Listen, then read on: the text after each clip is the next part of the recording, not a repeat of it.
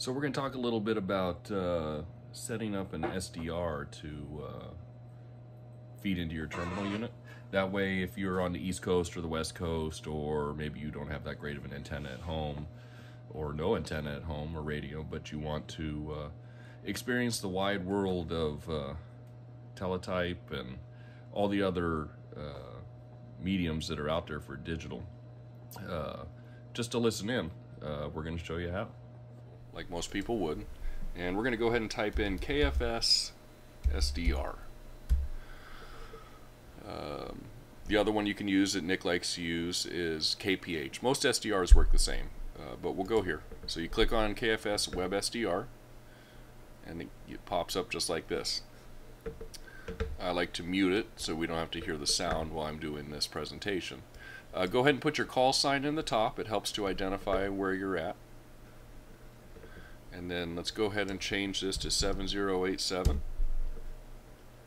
And go ahead and hit upper sideband wide. And because I like to see all the signals that are coming, I'm going to go ahead and zoom in on my waterfall. Maybe not that much.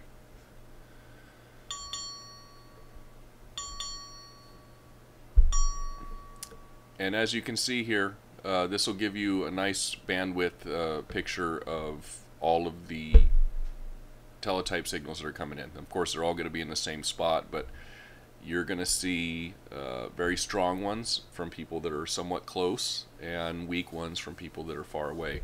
This is 40 meters. We're doing this in the day, so you know there's not a ton of propagation, um, so it's a little harder to go back and forth. Um, you're going to want to hit squelch unless your terminal unit has a pretty good mark hold. This will keep it from uh, printing uh, garbage characters in between actual real transmissions. And you can raise and lower your passband tuning here. Um, for 850 shifts, you know, you pretty much need it fairly wide. And as you can see, if you scroll on down, it says there's currently 45 users on this web SDR, now 44.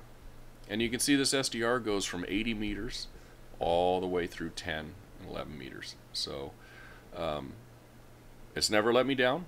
It's a great uh, uh, SDR. So now, if you want to listen to the East Coast one, let's go back to Google.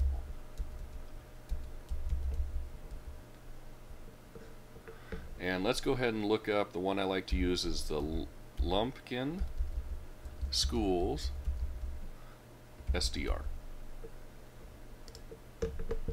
And there it is, WebSDR at EM84AN. The graphic interface on this one is a little more uh, up to date, uh, a little more uh, eye friendly, I guess. So we're going to go ahead and click here to start the audio. And once again, let's go ahead and mute it since we're doing the presentation.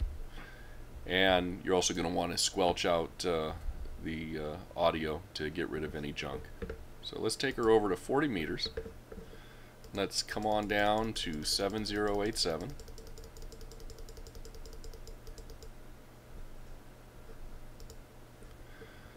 Upper sideband. And let's go ahead and zoom in on the waterfall. Now if you grab the waterfall from the picture side, you can slide it around. If you grab it down here from the frequency side, you'll actually change the frequencies. Once again, on this one also I forgot to mention, you can put your location or your call sign. So I'm going to go ahead and put in my call sign.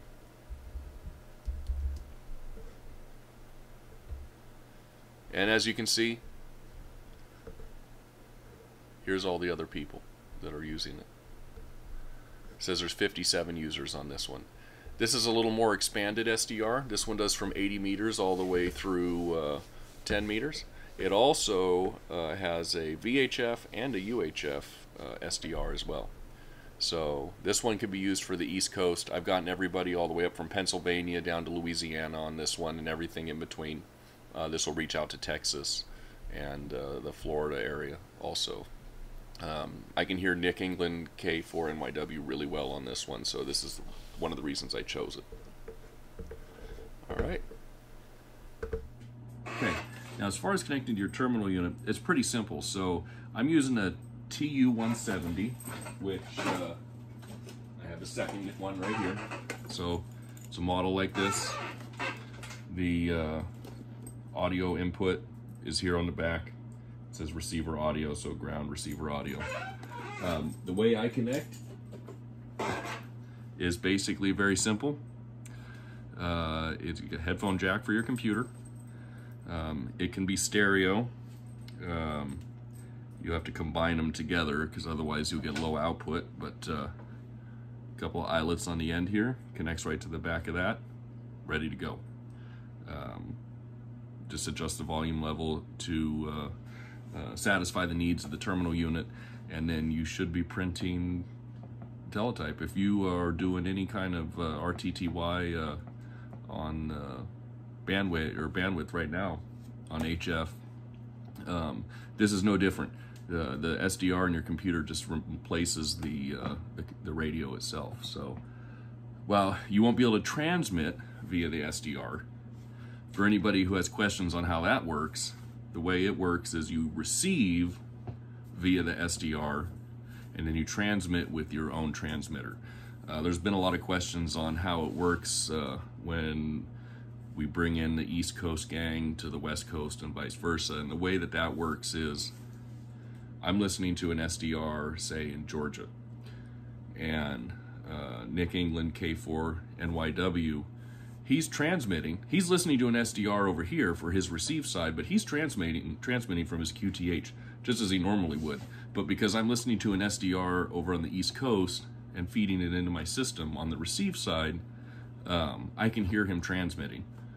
Now, the way that works is I pick up his transmission, I punch it out on tape, and then immediately feed it into a TD, which automatically runs it into another terminal unit, and transmits uh, directly out on my Kenwood here at my QTH uh, on the West Coast. So effectively bringing Nick England from the East Coast to the West Coast and transmitting here using basically an internet jump. So uh, not 100% um, airwaves, but a good portion of it. It does require me to hear him off the air, and it does require him to transmit in order for me to uh, to hear him uh, and retransmit him. So if you have any questions, you know, let me know. It's uh, uh, pretty simple once it gets going. Most of the legwork happens on my end or Nick's end um, because of switching back and forth between the paper tape punches and the terminal units and and uh, so on. So that's everything when it comes to using the SDR and your uh, teletype.